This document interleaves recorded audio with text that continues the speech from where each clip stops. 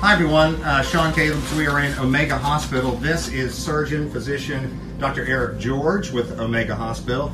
This, of course, is CGTN photographer Dan Criswell.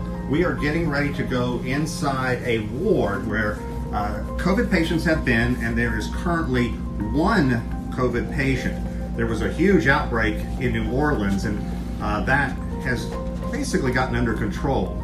And this is a tier two hospital. Is that right, Dr. Tier two, yes, Tier two, and so they got a lot of spillover from the major hospitals in the area, and they were basically asked to do stuff that they normally don't do. So Dr. George has the hat on. He's got his mask on right now. Uh, Dan Criswell just put his mask on. Dan, do you feel comfortable? I feel comfortable, yeah. You feel safe going in there? I do. Okay. And what else do we need to put on? Well, the, you, what we typically do is when we're talking or just general, we use a standard surgical mask.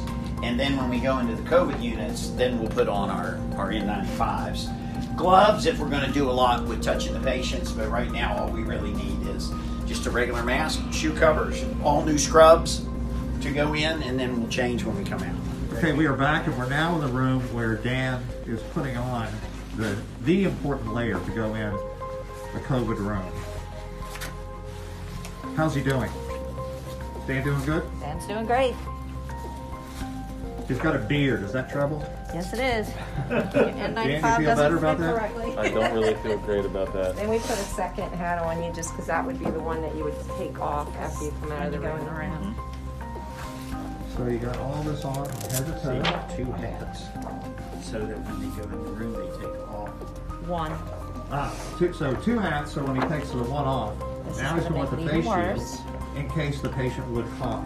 Now you need to keep your gloves. And the gloves have to cover the So I'm gonna give you The large. first- The first pair doesn't matter. The second pair you want coming over the cuff of the, of the yeah. This, Li- I, I would generally put the white over, and the glove, And then weight over and that. the white over that, because it kind of holds it in place, and then that second glove.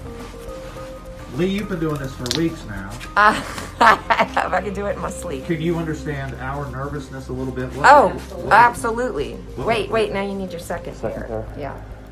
Yes, yes, yes, because this, the first day anybody comes, including myself, and we were some of the first nurses to be here, uh, scared to death, you know, like the guinea pigs, I guess.